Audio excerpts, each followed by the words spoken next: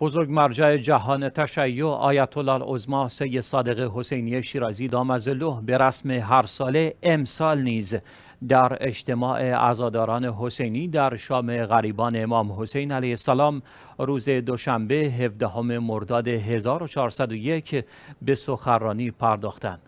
این مراسم سخرانی با حضور صدها تن از علما، فضلا، خطبا، طلاب حوزه های علمیه، مقلدین مرجعیت شیعه و نیز عاشقان اهل بیت اسمت و طهارت علیهم السلام در بیت معظم الله در شهر مقدس قم برگزار شد. الامام المهدی من آل محمد بزرگ مرجع جهان تشیع آیت الله العظما سید صادق حسینی شیرازی دامزلو در سخنرانی خود در شام قریبان امام حسین علیه السلام فرمودند مصائب آشورای امام حسین علیه السلام تا روز قیامت تمام شدنی نیست.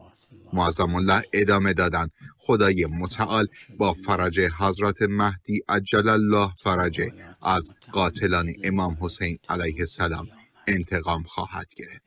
آیت الله العظما شیرازی همچنین فرمودند امام صادق علیه السلام در سجده به زائران امام حسین علیه السلام دعا می کردند راوی که از حج برگشته بود و دعاهای امام صادق علیه السلام در سجده برای زائران امام حسین علیه السلام را شنید گفت ای کاش به جای حج به زیارت امام حسین علیه السلام می رفتم تا دعاهای شما شامل من هم می شد.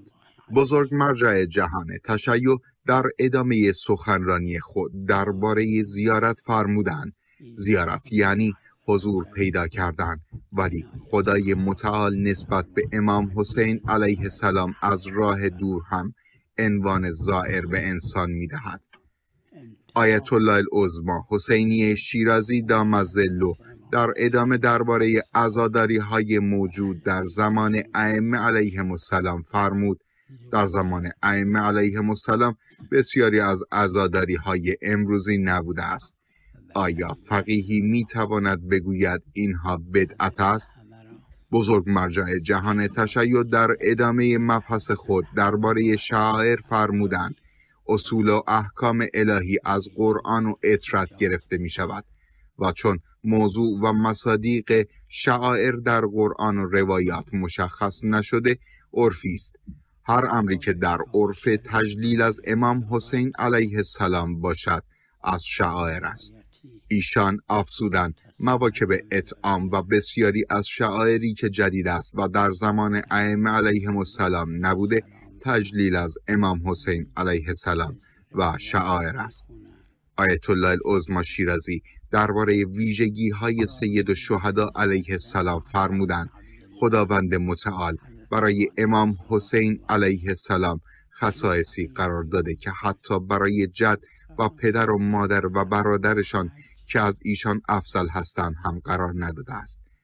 در روایات ولادت امام حسین علیه السلام جمیع ملائکه شهادت ایشان را به پیامبر تسلیت گفتند.